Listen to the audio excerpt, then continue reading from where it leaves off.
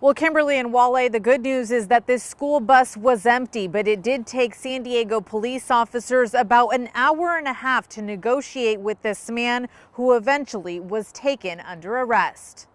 Please come off the bus without the knife. Just before noon Thursday morning, San Diego police say they got a call from a school bus driver reporting a man had boarded his bus. We want to talk to you.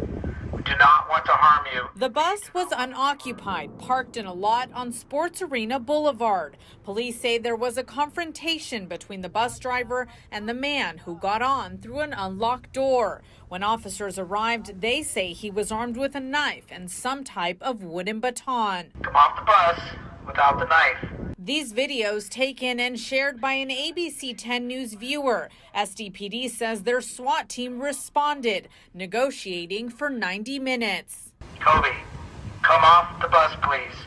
Eventually, officers used gas and pepper balls to get the suspect to cooperate. During the arrest, biting an officer in the leg. Police identifying the man as 25 year old Kobe Yandel.